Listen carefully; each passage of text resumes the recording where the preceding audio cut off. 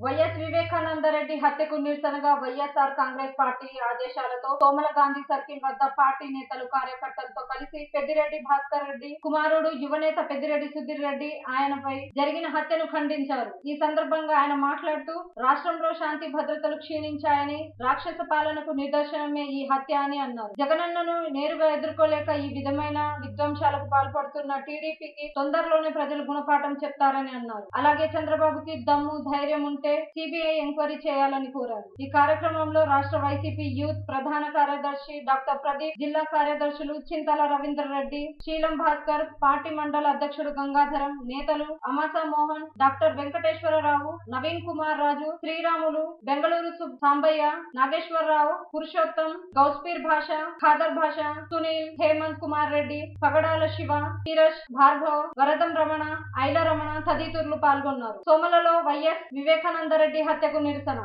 వీటిని నమ్మరు. మీరు చెప్పేవన్నీ ఎవరు నమ్మైతే లేదు. నమ్మే పరిస్థితి పోయింది ఇప్పుడు.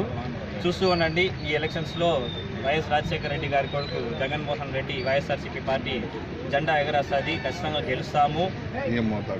ఎన్ని మీరు ఇంకా ఇంతకంటే ఎన్ని కుతంత్రాలు చేసినా కూడా ఖచ్చితంగా మా పార్టీనే గెలుస్తుంది. వైఎస్ఆర్ పార్టీ గెలుస్తుంది. ఎందుకంటే ప్రతి ప్రజల గుండెల్లోనూ ఇప్పుడు వైఎస్ఆర్ పార్టీ ఇది ఉంది.